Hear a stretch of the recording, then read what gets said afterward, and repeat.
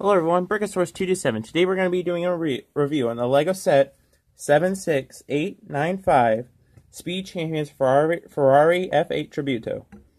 Let's get started.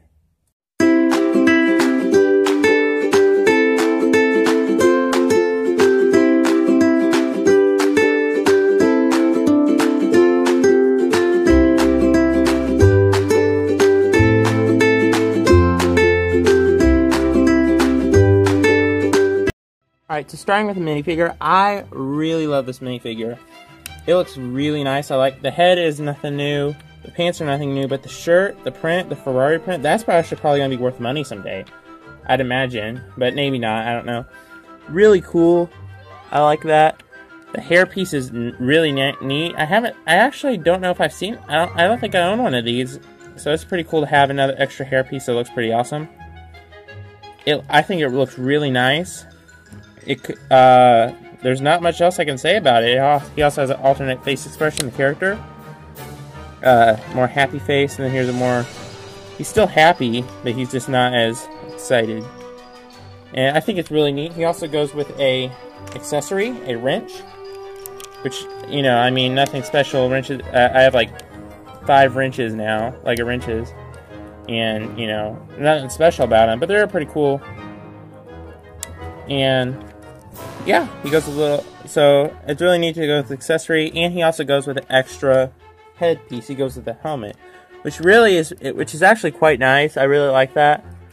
Uh, I yeah, I definitely like this character a lot. Really like the suit. I like I like hoodies and jackets and stuff like that.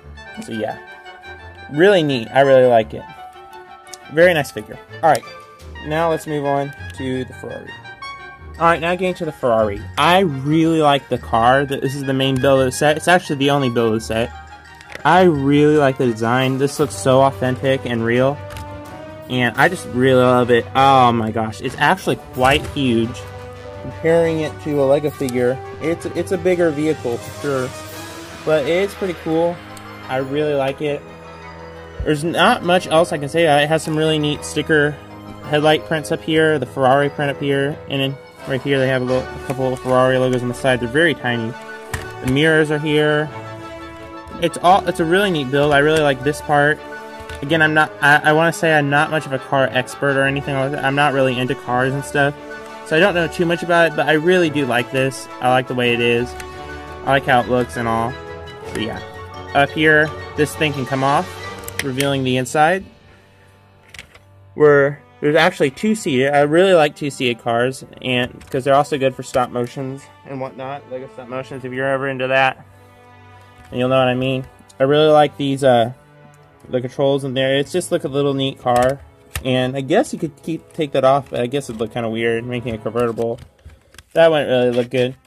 It's overall, I think it's pretty cool. Like I said, the Lego Lego figure can fit right inside of there. Let me just get him. And if you really want to store everything, you can just throw a branch, And uh, if you even wanted to, you can put the extra hair piece in there. And put that on top. And there you go. Oh, hang on a second. And there you go. I really like it. You have to pull push this guy all the way back and make sure his helmet's not up. You can't put a character with their hair piece in there. Believe it or not. It's kind of weird. Why, okay, why isn't it going in there? There we go. It's in now. Yeah. If the guy has a hairpiece, you can't fit him in there, so you have to. You can only fit him in there with the helmet, which kind of sucks. But hey, I really like the build of this. Uh, I believe the price averages for 20 US dollars, which is I think is kind of ridiculous. But you know, for you know just one car. But I'll talk more about that at the end. I think it looks really nice, and there's not much else I can say. Is the bottom, the wheels. Also, these uh, wheel plates actually go with alternate uh, the hubcaps, they come with alternate hubcaps. Unfortunately, I just remembered that and I forgot to pull the extra ones out. But it does go with some extra ones. I really like it. I think it's a cool build. And it's amazing how many pieces it takes to build this car. I mean, I mean, like it's it's insane. This is like heavy too. This is more of a heavy Lego car. It's amazing. I really like it. I think it's neat. But now, my final opinion. I think the set is good. Uh, I definitely think you should pick it up, though. $20 is pretty steep. I would say $15 would be better. Lego has not been good on pricing lately. Their prices have been way, way too expensive on some of the sets, especially this one. I mean, it's a cool, cool car, and I know it's like 200 something pieces, but I, to me, it just doesn't seem like something that, you know, is worth. I don't think it's worth twenty dollars. I think twenty dollars is a little too overpriced for it, but still very cool. I still picked it up because I thought it was a cool looking car. And yeah, actually no, I got this in clearance. I just remember for sixteen dollars, so it was a good deal. So yeah, really nice. And yeah, all right, that's it. Hope you liked the video.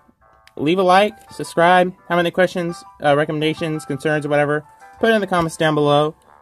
Share this video so more people you'll see it, and turn on that notification bell so you'll get notified every time I make a review, Nerf video, thrifting video, anything like that. Also, please check out some of my other videos. I have some other stop motions. If you like this channel, or if you like into Legos or Nerf, check the, the stop motions out. My stop motion videos are really cool.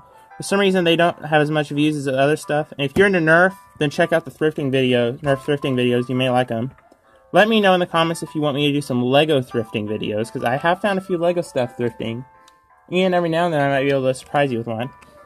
Uh, I don't really I know this is kind of off topic. I usually review Jurassic World sets, but this is all I have right now. It's the only recent set I got. I'm kind of, you know, I can't just get all, every single set. I'm saving up for another set, and hopefully we'll get one pretty soon.